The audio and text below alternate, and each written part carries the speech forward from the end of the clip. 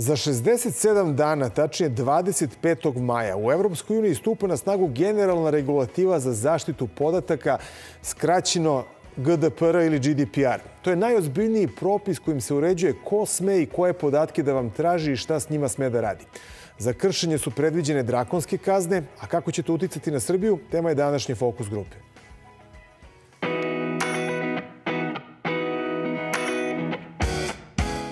Kada vam neko traži telefon osobe koju poznajete, osnovni red je da je pitate za dozvolu.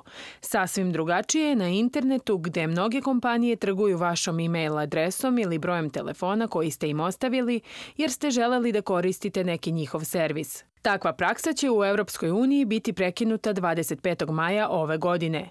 Tog dana stupa na snagu GDPR, odnosno Evropska regulativa za zaštitu podataka. Svako korišćenje ličnih podataka kompanije će morati da prijave korisnicima, a ograničeno je i koje podatke smeju da prikupljaju. Predviđene su drastične kazne za one koji se toga ne budu pridržavali, od 10 do 20 miliona evra ili do 4 od godišnjeg prometa. Regulativa se odnosi na sve koji posluju u Evropskoj uniji ili prikupljaju podatke građana Unije. GDPR predviđa i mogućnost da svoje podatke povučete ukoliko odlučite da prekinete sa korišćenjem nekog servisa i niko nema pravo da zadrži kopiju. Pod ličnim podacima podrazumevaju se ime, adresa i fotografije, kao i biometrijski i genetički podaci ukoliko se mogu povezati sa osobom kojoj pripadaju.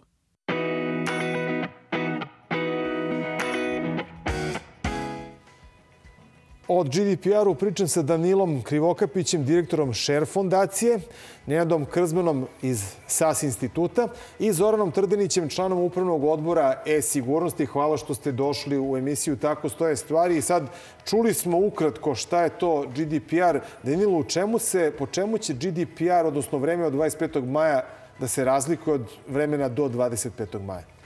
Pa, po mnogo čemu ja bih rekao. Dakle, ove, ove regulative zapravo jedna evolucija pravila o zaštiti podataka o ličnosti, obzirom da su prethodna pravila donete još 95. godine i mislim da je sada već suvišno pričati koliko se svet promenio, koliko su nove tehnologije uticale na prikupljanje ličnih podataka, internet, mobilni telefoni i zapravo ova, ova regulativa ima e, ideju da e, je propisala čitav niz novih pravila za kompanije koje prikupljaju naše podatke sa jedne strane, a sa druge strane želi da stavi pojedinca u centar, da građani imaju E, pravo da rade sa podacima šta hoće, da budu dobro obavešteni i da na neki način povrate, povrate kontrolu nad svojim podacima.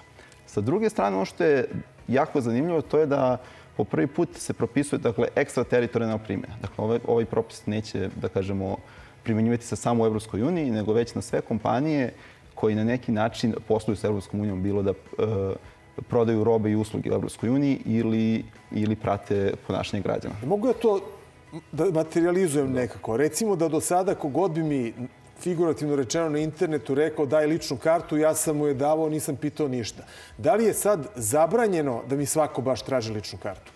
Ili e. može da me pita samo da mu pokažem iz ruke? Kako bi to metaforički ovako pa metaforički to bi značilo da onaj ko vam traži neki lični podatak, na primjer ličnu kartu, mora da vam objasni zašto vam te podatke traži. Dakle, u koju svrhu će ih koristiti. Ne može samo da kaže daj, kao do sada. Naravno da ne može. Nije mogo zapravo i sada, su ta zapravo pravila precizirana. Mora da vam objasni kako će koristiti te podatke, kome će ih dati i tako dalje. I mora da vam omogući da uvek imate kontrolu nad tim podacima. Da li da vidite u vidu te podatke, da li da ih obrišete, da li da ih povučete i tako dalje. Zorne, koliko se to razlikuje od ovoga što sad imamo? Razlikuju se mnogo. Naravno, sad, ovaj, ajde da kažemo da vlada jedno totalno bezlašnje u pitanju podataka. Svi koriste svačije podatke.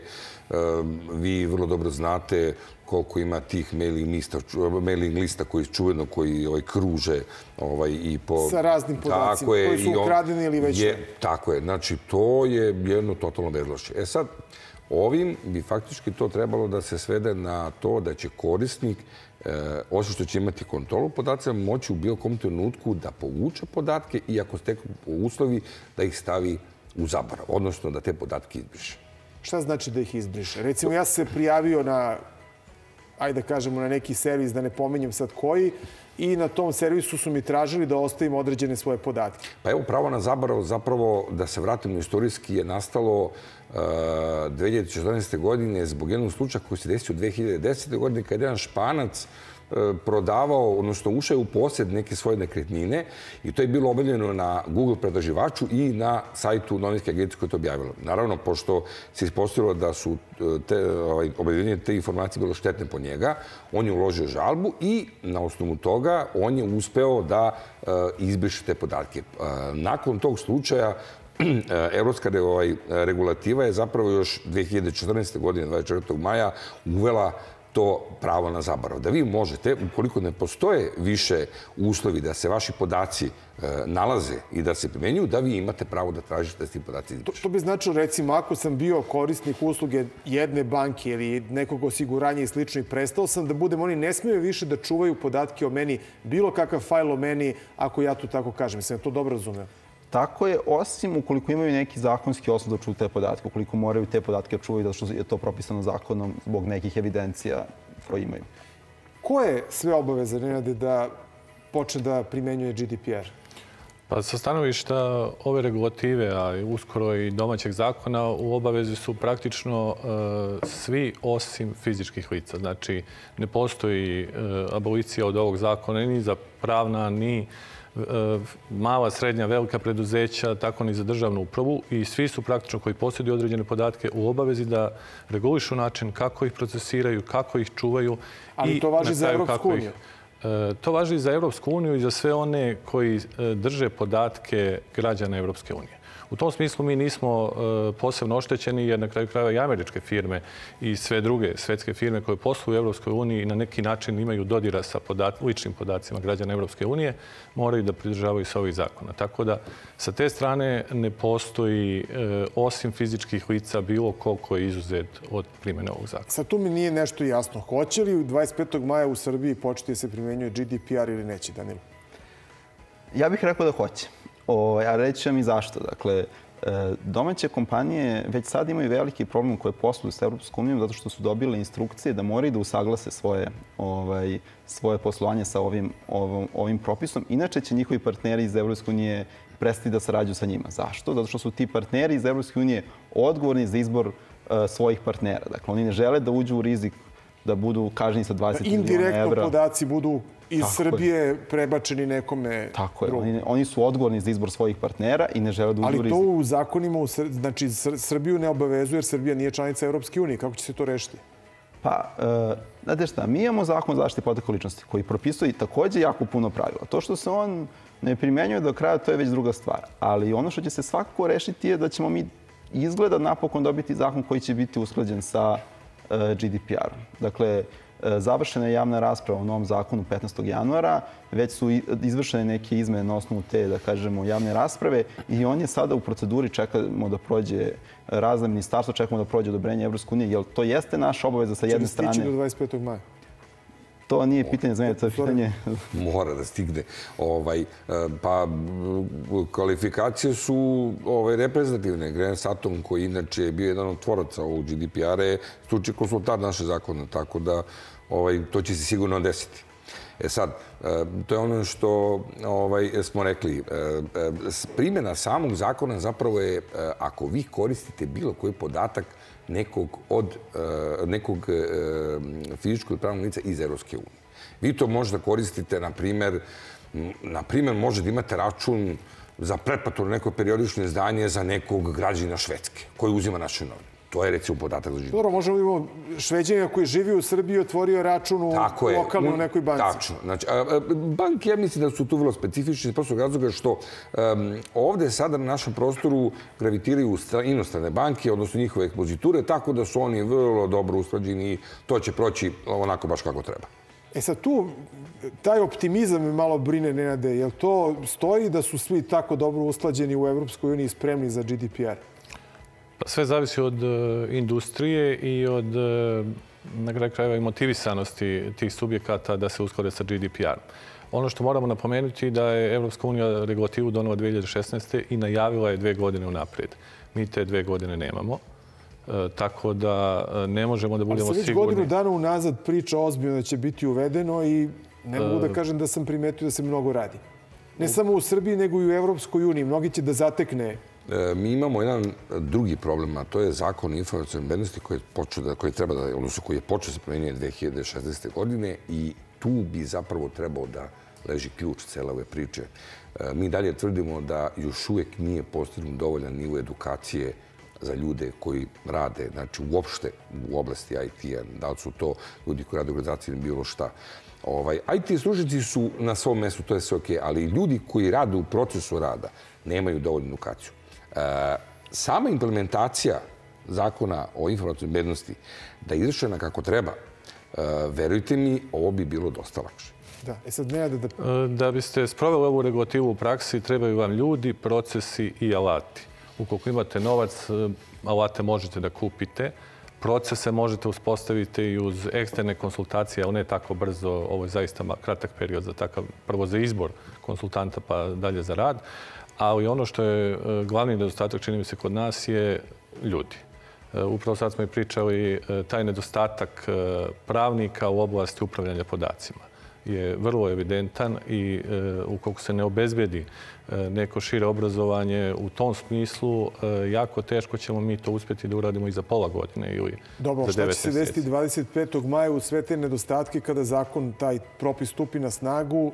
Šta će se dogoditi sa srpskim kompanijama koje posluju u Evropskoj uniji, ako nisu spremni? E, osim onih e, kompanija koje njihovi poslovni partneri e, na neki način pritiskom ne dovedu do situacije da su u potpunosti usaglašeni sa ovom regulativom, druge kompanije koje to rade na osnovu svojih ličnih inicijativa će možda završiti, u velikoj većini neće, ali će biti u tom procesu ono što je najvažnije, da se krene u taj proces i e, možda i najvažniji element je proces prilagođavanja, proces prilagođavanja i uvođenja regulative i onog trenutka kada vam dođe kontrola sigurno da se to neće desiti tako brzo, da vi kažete da ste završili taj posao. A koliko, bi, koliko je potrebno da bi se takva jedna stvar pripremila u jednoj prosječnoj firmi? Pa zavisi od količine podataka. Ovo što je Zoran rekao, banke su e, dosta spremne. One su recimo na 80% posla i u nekom relativnom e, pogledu, one su najdalje odmakle. Neke firme su na 0% posla. Međutim, opet oni imaju jako mnogo podataka, tako da i to dosta posla, ali s druge strane imaju dosta ljudi. Imaju ljudske resurse koji to mogu da urade. I njima će trebati 3 do 6 meseci ukoliko nisu završili taj posao ili su negde uh, u skladu sa aktualnom regulativom. A imamo samo dva meseca da, da se to uradi. A nekome će trebati možda više. Danilo, pominje se, uh, dakle, neko to treba da kontroliše, neko treba da dođe i da utvrdi da ja kršim propise? Ko je taj koji će to da radi? Pa svaka država ima svoj nadležni organ. To su, da kažemo, poverenici za zaštitu podataka širom Evrope. I mi imamo takođe poverenika koji je zapravo nadležan u Srbiji. Oni... Hoće li se njemu obratiti, recimo, neki građanin e, e, Evropske da. unije koji može da kaže, izvinite, meni u Srbiji krše GDPR, da. neka firma u Srbiji je uzela moje, prodaje mi nešto preko interneta, uzeli su moje podatke i sad sam ih našao ko zna gde. To, to, to je apsolutno moguće da, da poverenici širom Evrope mogu da proveravaju poslovanje naše kompanije. Oni to rade već dugi niz godina sa američkim kompanijama. I Facebook i Google su se naplaćali, naplaćali kazni za nepoštovanje ovih pravila, tako da niko, kažem, niko nije izuzet od ove primjene. Ali ja bih se samo dovezao, ovdje sad pričamo dosta iz ugla, iz ugla biznis sektora.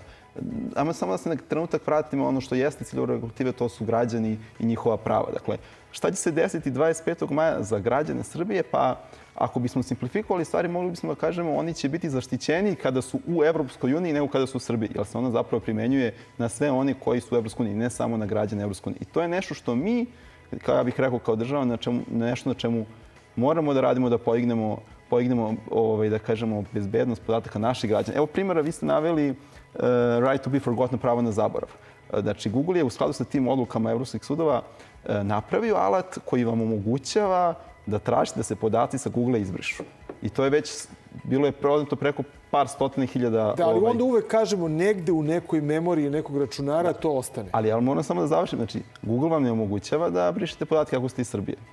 Znači, on dozvolja samo građanima Evropske unije da obrišu te podatke. Dakle, mi kao društvo moramo da radimo na tome da da uspostavimo odnose sa ovim velikim kompanijama. Facebook ne postoji u Srbiji, Google ne postoji u Srbiji. Dakle, postavlja se pitanje kako ćemo mi da zaštitimo naše građane od, da kažemo, velikih, velikih kompanija koje obrađuju podatke. Samo jedna stvar mi je ostala nejasna kod ovoga. Dakle, koji su to podaci koje neko sme u budući da uzima od mene i šta je ono što neće više moći da se dogodi, a sada se dešava? Pa evo ovako, do sada su kompanije radile po principu hajmo da skupimo što više podataka pa ćemo da vidimo šta ćemo raditi s njima. Jer postoji sad već uveženo mišljenje da su zapravo podaci nova nafta i onda kompanije skupljaju, skupljaju podatke i kada procene posle mjeseca dana možda ćemo da radimo ovo sa njima, možda ćemo da ih prodamo, možda ćemo da neku vrstu marketinga radimo ono što je pravilo sada da mogu da se prikupljaju samo oni podaci koji su potrebni za određenu svrhu. Dakle, samo ono što je legitimna svrha e, se može prikupljati. To znači da, na primer, um, kako bih rekao, ako ste idete na Facebook, oni mogu da prikupljaju samo one podatke koji su neophodni da bi Facebook funkcionisao. Ne više od toga. Šta se recimo sada, gde su ta kršenja sada najveća kod ličnih podataka? Prvo, vi uopšte nemate ovaj, e, sigurno gde se nalaze. Razvoj novih informacijskih tehnologija i cloud tehnologije, e, ti podaci, e, prvo ni same kompanije koje drže te podatke ne znaju gde se nalaze ti podaci. Zašto? Oni su na nekom cloudu, a vi znamo, danas je vreme ekonomije, znači svako gleda da prođe najeftiniji, znači pokušava da kupi neki najeftiniji saobrać kako to mogu da uradi. Vi E, ono što ja opet kažem, pitanju je needukacija. Vi kada se, recimo, prijavite na Facebooku, vi tačno tamo imate u onoj euli, čuvena ona eula, tako, tačno koja vi možete da ostavite pravo i obaveze. I oni mogu da daju više polja da vi popunjate, a vi možete popunite samo ono što je najbitnije. Obično, naš narod, ili tako, mi sve volimo da radimo, pa onda popunimo sve i tako. Za svaki slučaj da se da, da, da, da se nađe, da se ima i tako da. Znači, to više, to više neće, neće moći da se radi. Pa, u pitanju je e, ovo što su moje kolege rekli, ovaj, e, zapravo je u pitanju e, zaštita građana, odnosno i građani moraju da budu edukovani šta oni treba daju e, podatak. Da, tu imam pitanje, Nenade, budući da radite dosta sa a, firmama koje se bave podacima, odnosno IT sektorom, imamo li mi kao društvo svest o bezbednosti u internet saobraćaju ako znamo da nemamo svest ni u ovom klasičnom saobraćaju gde se bukvalno gine? Kako kad, kad pričate sa ljudima, imate utisak da, da je ta svest jako nisko? Pa sada možemo da podelimo te ljude na IT profesionalce i oni koji su samo korisnici. Ako pričamo o IT profesionalcima, možda je to čak i ispred e, nekog proseka Evrope ili globalno. Ali ako pričamo o ljudima e, koji su e, obični korisnici, u takvoj situaciji nismo baš sigurni da postoji e, svest. Jer prolaze na crveno masovno. Prolaze, e, pa ne samo to, e, to je nekakva praksa šta, šta može da se desi. U principu, taj problem brisanja podataka nije pitanje šta će da se desi u narednih 3, 6, 9 meseci taj problem može da vas sačeka za par godina i onda kad ne želite da se to desi. Je tehnički izvodljivo da se podaci izbrišu?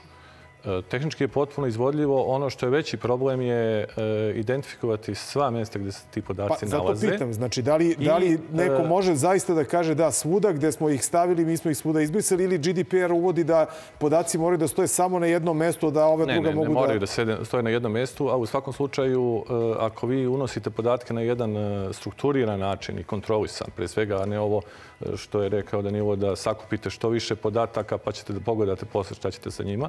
Ako vodite način e, računa o tome kako unosite podatke, onda sigurno znate gde se oni nalaze i nije toliko tehnološki teško obrisati ih, ali isto tako morate da imate e, proceduru kojom dokazujete u slučaju kontrole da se to zaista i uradilo. E to je ono što je malo teže. Kazne 10 do 20 miliona evra. Je li to realno? Pa, mislim, svi pričaju puno o tim kaznama. To su, da kažemo, maksimalno propisane kazne i one su pre svega postoje da bi se ovi najveći igrači nekako doveli u red. Jer kao što rekao, oni su se već naplaćali milijonski kazni, ali to za njih nije... Za njih postoji 4% od Za njih postoji 4%. Znači, ne, čak ni, ne mora da bude ni 20, možda bude i 200 miliona ukoliko Upravo se tako. ispostavi. Upravo tako. Ali kažem, postoje čitav niz mera, ne samo kazna. Znači, one kreću od 0 evra. Kazna može biti 50 evra, kazna može biti zabranja dalje obrade podataka, kazna može biti pravo, mogućnost da se ostvari pravo građana i tako dalje. Trenutno je aktuelna priča o tome da je Facebook dozvolio prikupljanje podataka koji su pomogli kampanji Donalda Trumpa. Da li bi GDPR sprečio takvu stvar da je postojao?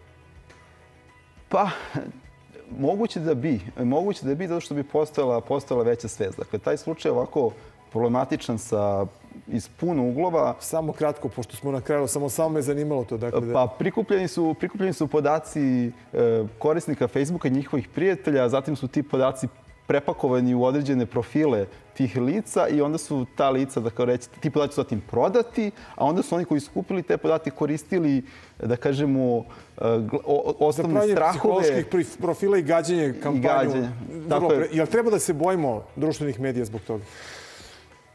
Pa, diskutabilno je pitanje, ali ja i dalje tvrdim, poronja ko papagaj, edukacija, edukacija, edukacija. Što smo više svesni cele te priče, mi ćemo biti u situaciji da tačno znamo i da, da ovaj, vidimo čemu će to da vodi i moći ćemo da sprečimo ovaj, eventualan ovaj, širenje da. Evo neko bude prvi korak u, ili jedan od koraka u, u toj edukaciji. Vidjet ćemo šta ćemo do 25. maja sve da stignemo. Hvala vam što ste bili u Fokus grupi posvećenoj uvođenju GDPR-a.